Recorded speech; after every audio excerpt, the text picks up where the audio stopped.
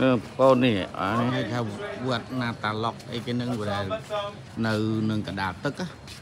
ដោយសារតែពីមុនជាវត្តនៅលើដីធម្មតាតែដោយសារទឹកវាកាត់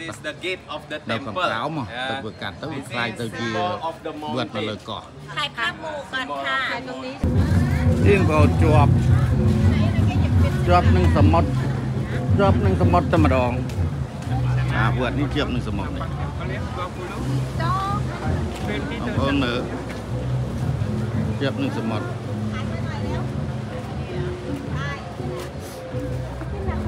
នេះបងនេះជាប់សមុទ្រវត្តនឹងបាននេះតែវាកាត់នេះនេះកន្លែងដែលកាត់ទៅវត្តទៅជានៅនឹងលើនឹងតែម្ដងបាទនេះបងនេះអឺអូស្ត្រាលៀនអូស្ត្រាលៀ ននេះបងប្អូនដែលវត្តវត្តតែកាត់នោះបងប្អូននោះនោះនោះនោះនោះនោះបងប្អូននោះនេះតែសមុទ្រវាកាត់ដាច់កន្លែងនេះទៅទៅជីវិតនៅលើកណ្ដាលនោះបងប្អូននោះបងឃើញនេះ